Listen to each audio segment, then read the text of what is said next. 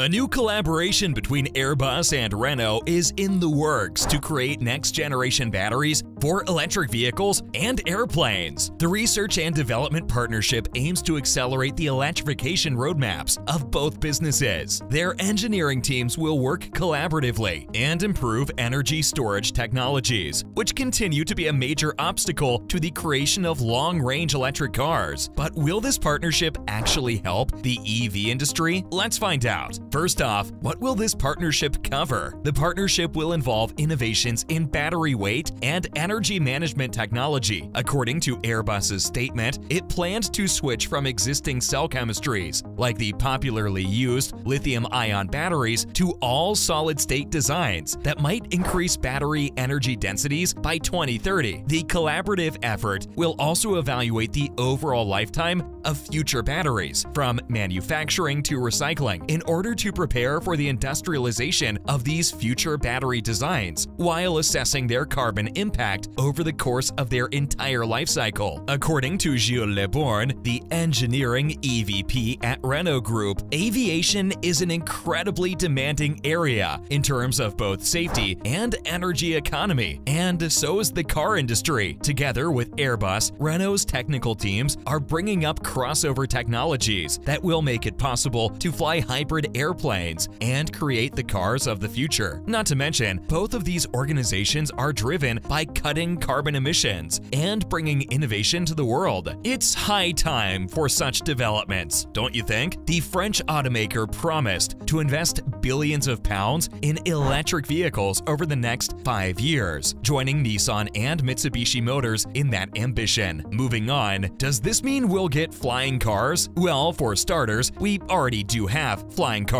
but they're so noisy and expensive that they never became popular. Instead, the Renault Group and Airbus are working on developing electric technologies that might accelerate the production of car batteries and zero emission planes. So hold off on your excitement because they aren't developing a flying electric car. In reality, the fact that the two companies have signed a research and development agreement focusing on energy management optimization and a fully electric future is far more exciting because their collaboration will benefit future generations when there's no more fossil fuel left in the world. The goal is to explore whether sharing important technological capabilities could accelerate the development of both Renault's electric vehicle technology and the upcoming hybrid electric aircraft from Airbus. Obviously, Airbus won't be entirely electric because batteries are very heavy, but it's the right step in lowering carbon emissions from commercial aircraft. Let's talk more about aircraft decarbonization. Guillaume Faury stated during a briefing about the European manufacturer's efforts to reduce emissions that he was concerned about the rate of investment in facilities to produce green hydrogen and sustainable aviation fuel due to the fact that battery technology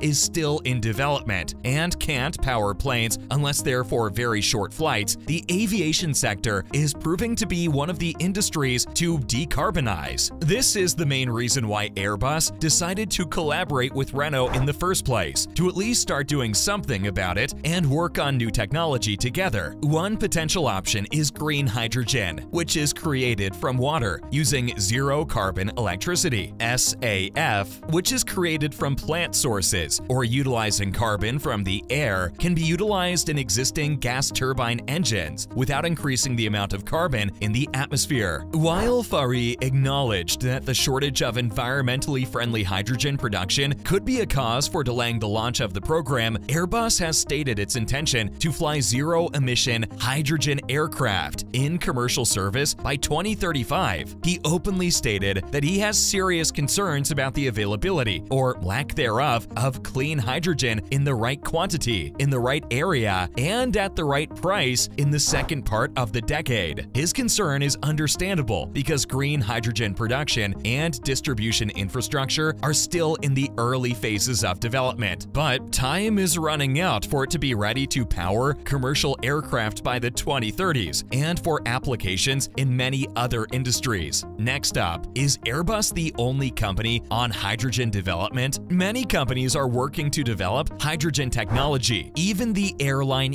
EasyJet, and the British engineering firm Rolls-Royce announced that the first ground testing of an aircraft engine powered by hydrogen combustion had begun. In fact, Airbus is collaborating with the American company GE and the French engine maker Safran to build a hydrogen combustion engine on an A380 Super Jumbo already. Although Airbus's main rival Boeing is more focused on sustainable aviation fuel, they're still taking some steps in testing hydrogen as a power source. So, no, Airbus isn't the only one. Meanwhile, Airbus said that it's already in the final stages of developing a hydrogen fuel cell powered aircraft engine, which emits only water as waste while it produces energy and is expected to begin flight testing in or around 2026. The propeller engine could be able to propel a 100 passenger airplane with a 1,000 nautical mile range, according to the manufacturer, although it's unlikely that it would ever be used for these kinds of flights due to the amount of hydrogen storage that would be needed. But you never know. If anybody can figure it out, it's probably Airbus. There's no question that every manufacturer, especially in the car industry, is moving towards a future free from carbon emissions. And of course, Toyota being the pioneer of hybrid technology is no different, with their own plans that also involve an electric aircraft and hydrogen R&D. Let's talk about Toyota's plans. Toyota's president, Akio Toyoda, says that we need to cut CO2 emissions as much as possible as soon as possible. This doesn't mean that we should focus on electric power alone. That's why, like Airbus, Toyota wants to focus on hydrogen power, which could even be used for flying cars. More on this later. According to Akio Toyoda, the business would spend $30.5 billion on EVs by the end of the decade, including money to create next generation batteries, with a similar amount going into hybrid, hydrogen, and other powertrains. The BZ4X, the company's first completely electric vehicle, marked the beginning of the Beyond Zero effort. Despite being Toyota's first electric car, the electric motor, inverter, gearing, and batteries were created utilizing decades of hybrid knowledge. The Toyota EV seems to be a tall, riding midsize crossover with a design that's reminiscent of the Prius hybrid and Mirai hydrogen-powered vehicles. But Toyota's ambitions don't stop there because there's one particular area they're working on that nobody would have guessed. Now for Project SkyDrive. Greetings from Project SkyDrive. With Toyota's financial assistance, a Japanese startup has already tested a flying car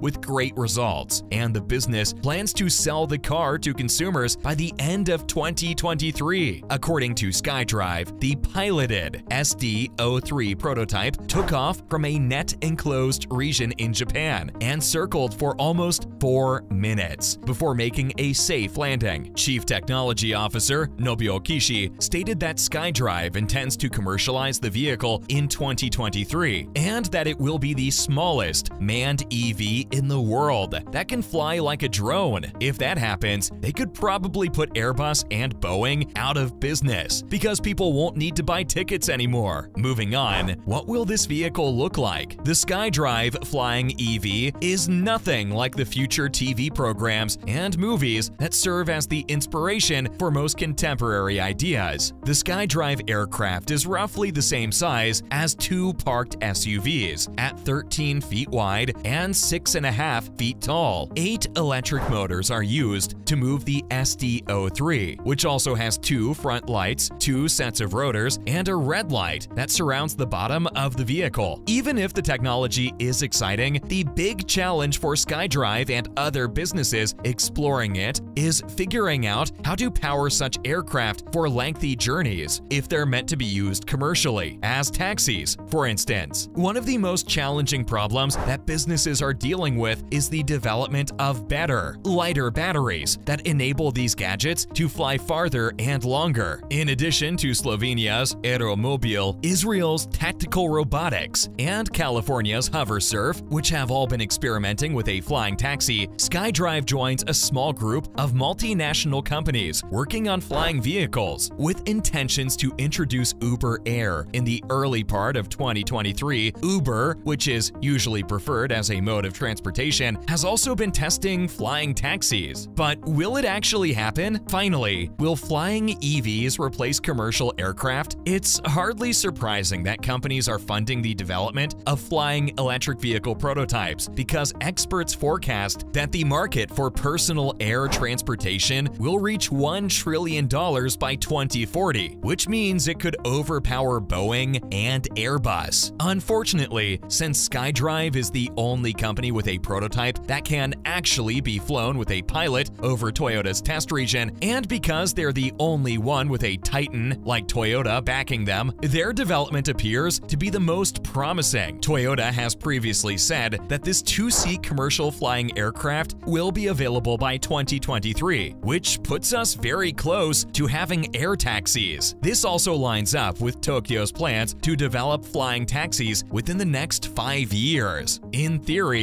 this could be a better alternative for intercity travel, while commercial aircraft would still be used for longer journeys. But what do you think? Let us know in the comments below. That's it for today. If you liked the video, please leave a like, share, and subscribe to our channel for more awesome content just like this.